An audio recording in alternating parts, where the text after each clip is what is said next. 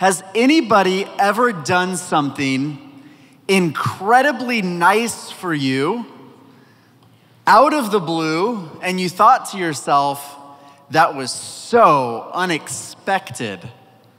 Why did they do that for me? Why did they do that? I was deep in quarantine, about four weeks in, very deep in quarantine. I'm watching Tiger King, kicking back, probably episode three. And I, I, don't even know what I'm wearing. I'm probably wearing like a jersey, I'm wearing some swim trunks. You know, I'm very deep in quarantine. I haven't had a haircut in about six weeks since Compton. Me and Christine are sitting on the couch. It's 10 at night. Doorbell rings, my ring. Beep, beep, beep. So I'm sitting there, I'm like, it's 10 o'clock. Who's ringing the doorbell? Christine looks at me and she's like, who rings the doorbell? I'm like, I don't know. It's a human. It's COVID. What should we do? We haven't talked to people in a while.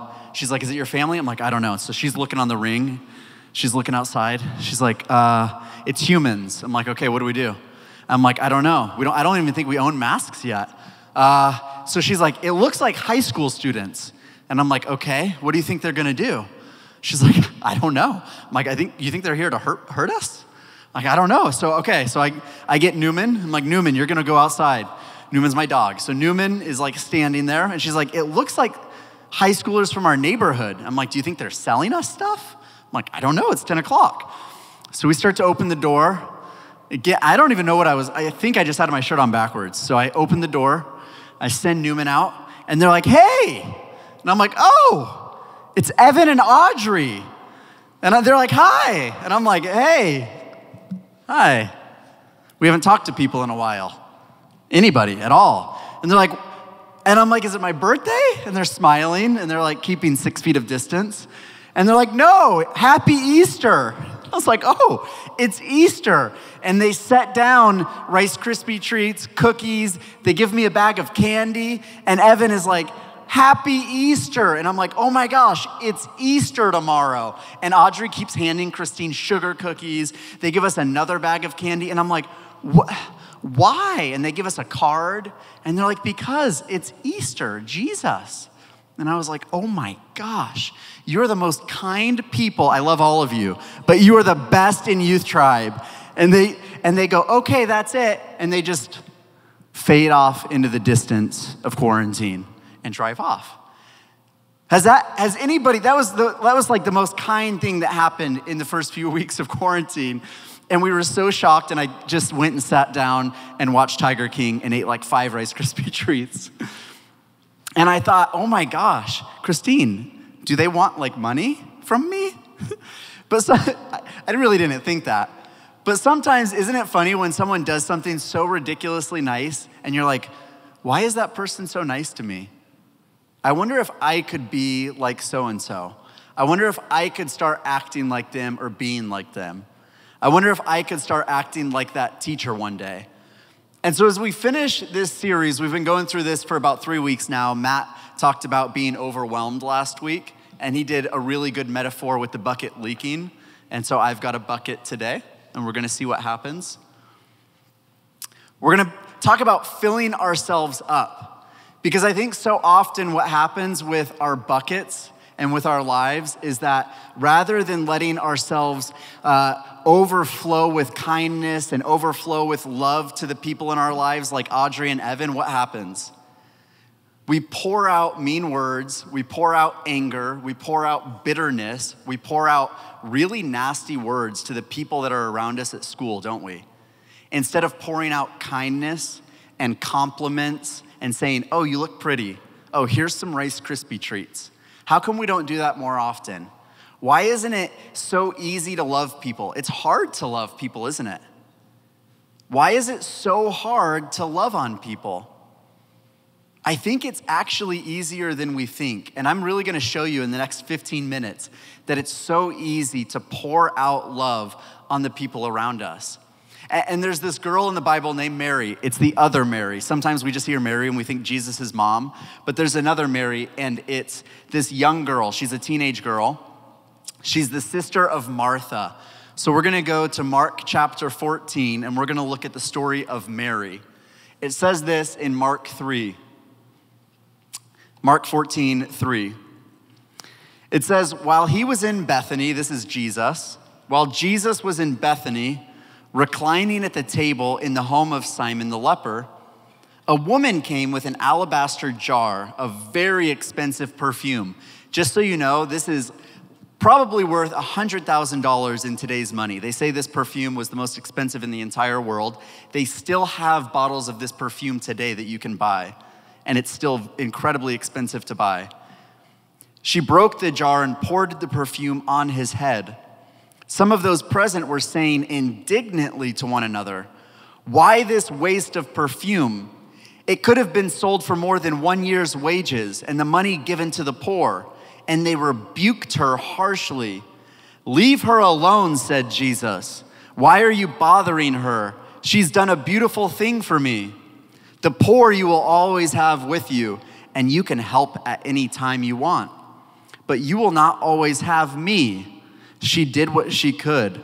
She poured perfume on my body beforehand to prepare me for burial. Truly, I tell you, wherever the gospel is preached throughout the world, what she has done will also be told in memory of her. Then Judas, somehow Judas gets put in this story. Then Judas, one of the twelve, went to the chief priests to betray Jesus to them. There's a lot going on in this story. The girl walks in, she barges in. The disciples are having dinner with Jesus. Jesus is apparently finished eating. He's sitting back. In comes this young girl, Mary. She's a teenage girl she breaks open this expensive $100,000 bottle of perfume, pours it over Jesus' head, and then Judas and the disciples get mad, and Judas leaves.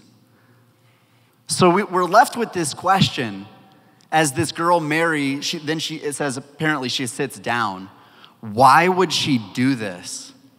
Why would she walk in with this most expensive bottle and pour it over Jesus' head? What would compel her to do this thing?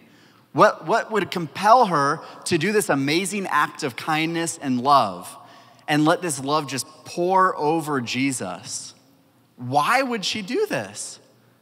I wrote down this she couldn't help it. She couldn't help herself. She couldn't stop herself from doing this. And I think one of the secrets to her love, one of the secrets to her kindness, was that she had been soaking up time with Jesus. She'd been soaking up all of this time over the last several months and possibly a couple of years with Jesus. If we read our Bibles and if you go back in the gospel, what you'll see in the gospel of Mark is there's another story with Mary and Martha, and a lot of us know this story. Mary and Martha are sisters, and it says that Jesus and a lot of the disciples were in Mary and Martha's house, and they're having dinner at Mary and Martha's house, and what happens? We, a lot of us know this story. Martha gets mad at Mary, and she says, Mary, how come you're not helping me? Who gets mad at their sister? How come you're not helping me vacuum the house? Well, Jesus is sitting at this table and he's talking to a bunch of people as dinner is getting ready. And Mary yells at, or Martha yells at Mary and says, Mary, how come you're not helping me make any of the pasta? How come you're not helping?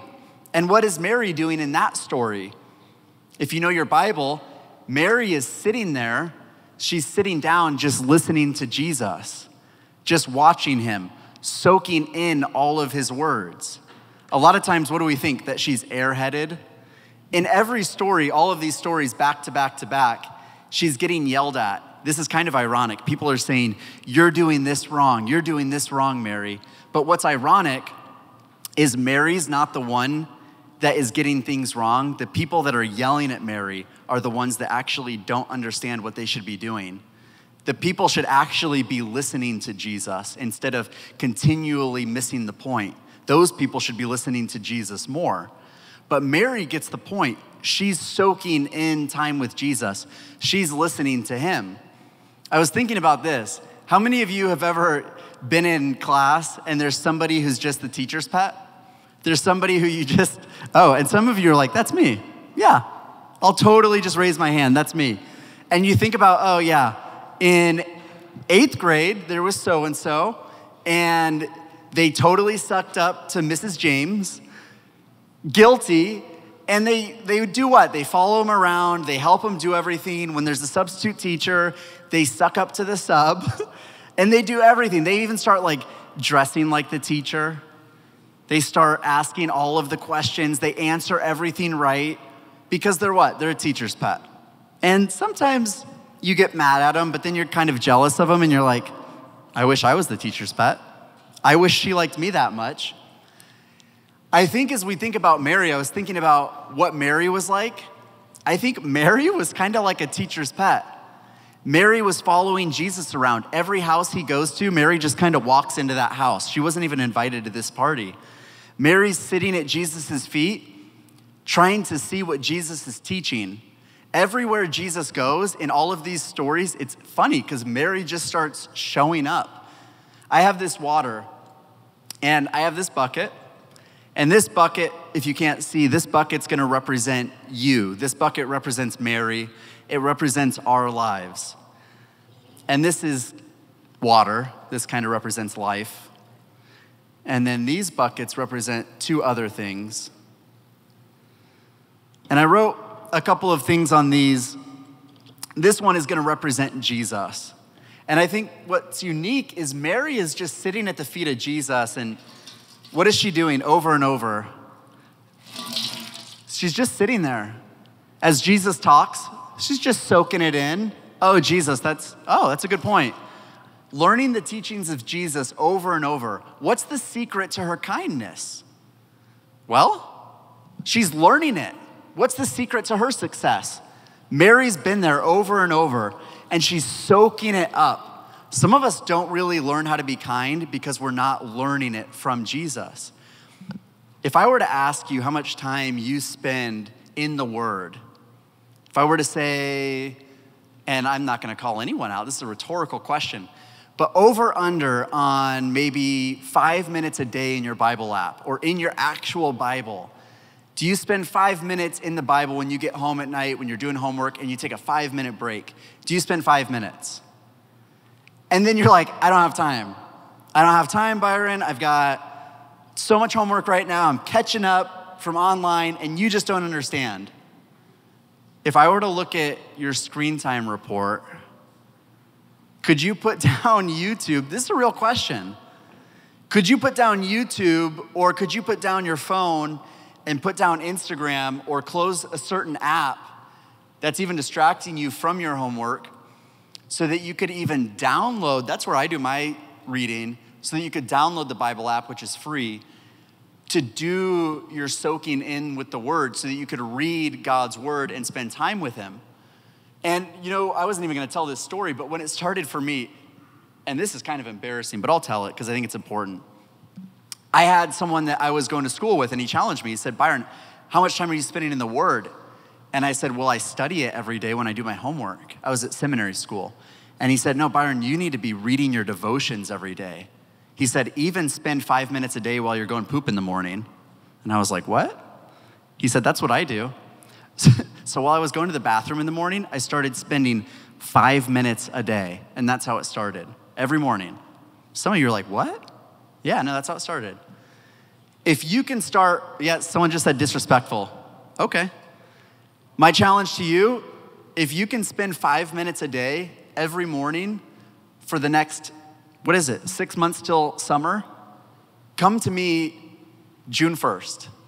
I guarantee everyone in this room will see a massive change in your life come June 1st because you started spending five or six minutes a day soaking in God's word over the last six months, you'll be a totally different person. If you start spending 10 minutes or 11 minutes a day in your Bible app. But here's the thing that wasn't her only secret. She had two secrets, Mary. Her second secret was this she was soaking in time with other Christians. Because it's one thing to soak in God's word. That's one thing. You can do, you can do one thing really well, can't you? But she did two things really well. She realized, oh, I can soak in time with Jesus. That's good. I can do this.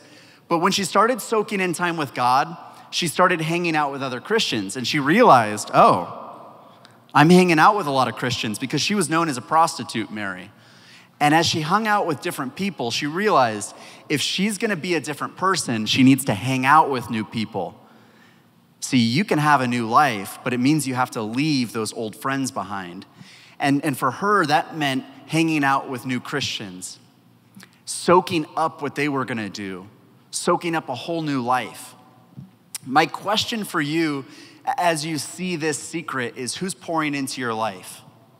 Who's influencing you? Who's mentoring you right now? Who are you letting pour into you every day? Are they just dripping into you?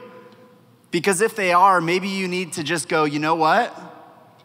I'm not gonna let you pour into me anymore. I'm gonna put you under there and I'm not gonna listen to your words anymore. You're kind of a toxic influence on my life. I don't think you should be allowed in my life anymore, and no one's ever like told you you can't talk to me. You've just always kind of been there, but I'm gonna put you under there. And you shouldn't be an influence in my life anymore. Do you have people that can start pouring into you?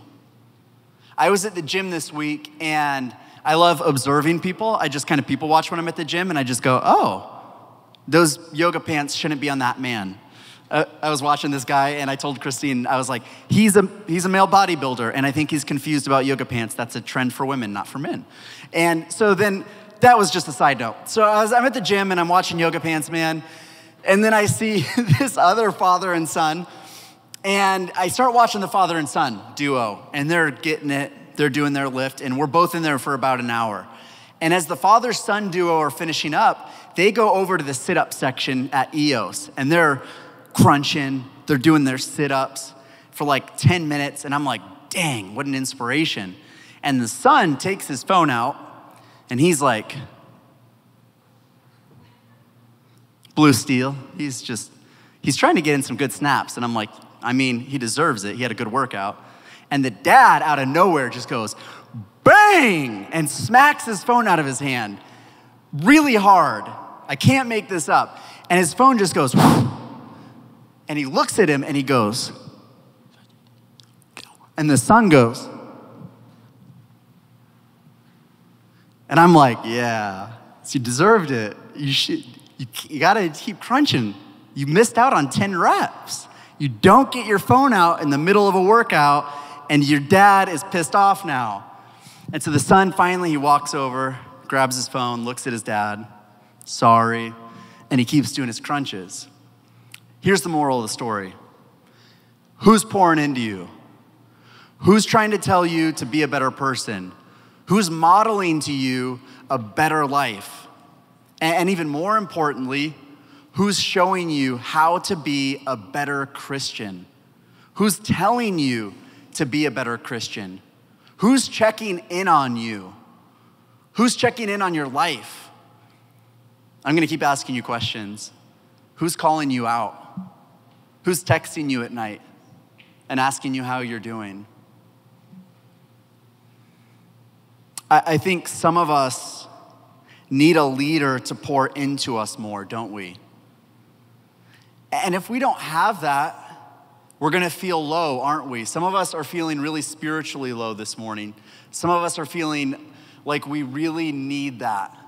And my challenge is to go and ask a leader, ask someone in this room, ask a counselor at school. You have guidance counselors.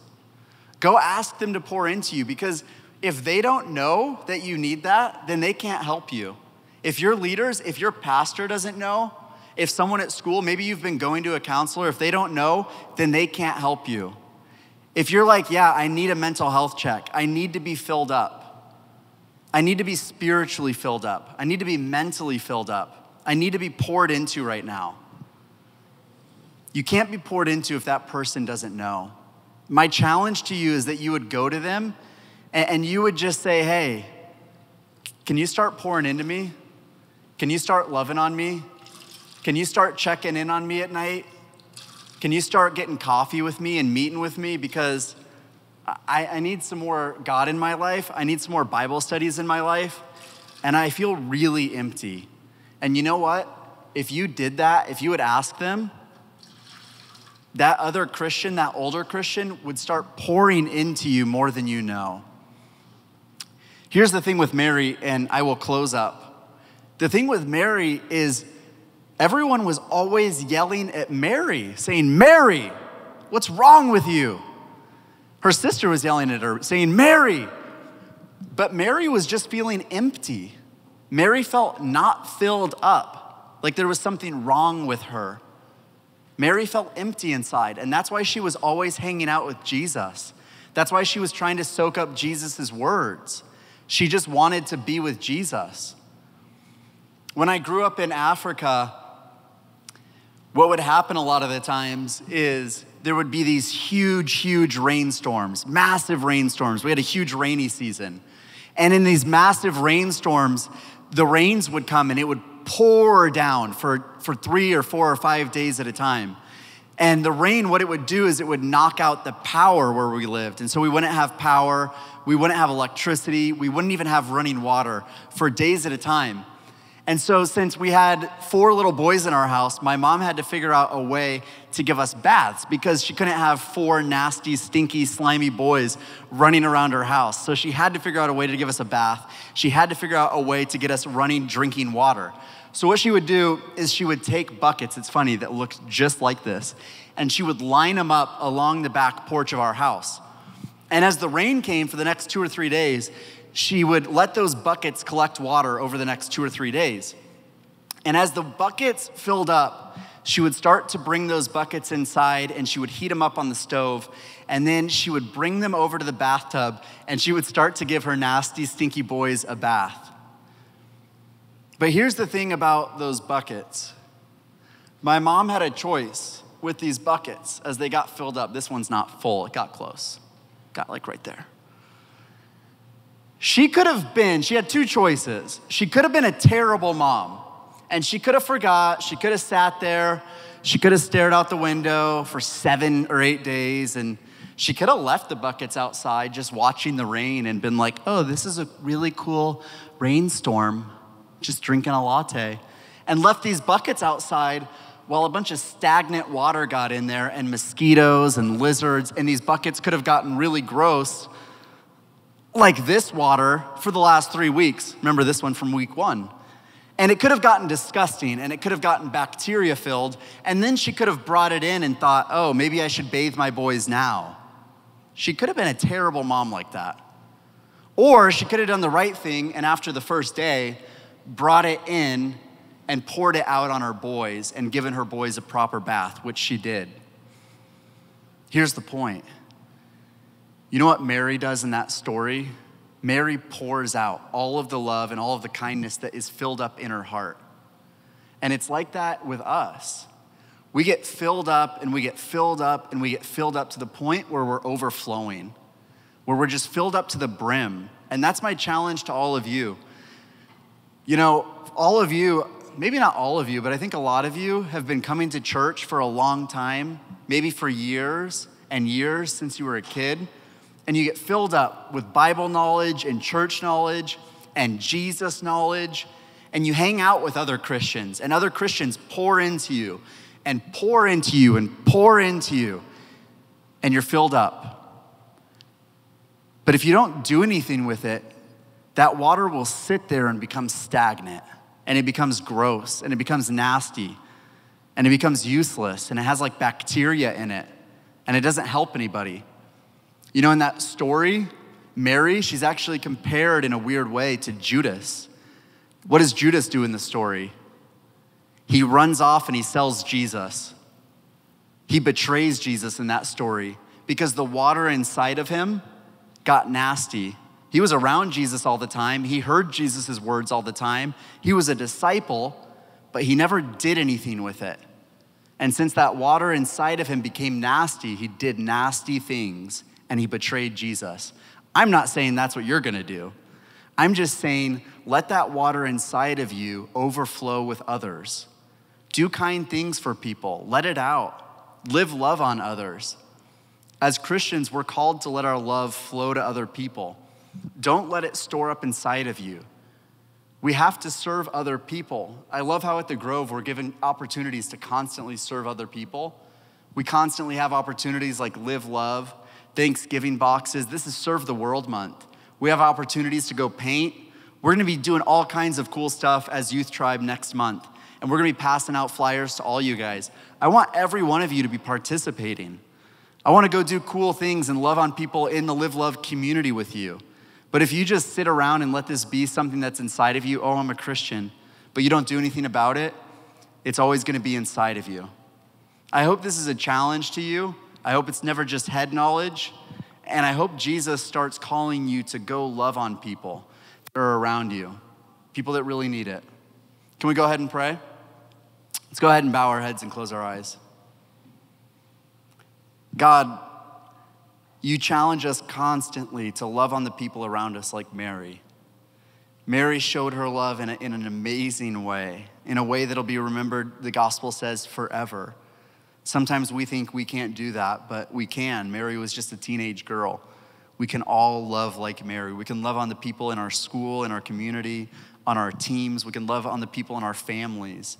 And, and it's so simple. We can do simple acts of love and simple acts of kindness for everybody. Continue to show us, God, how to love on the people in, in our family and how to love on people at school.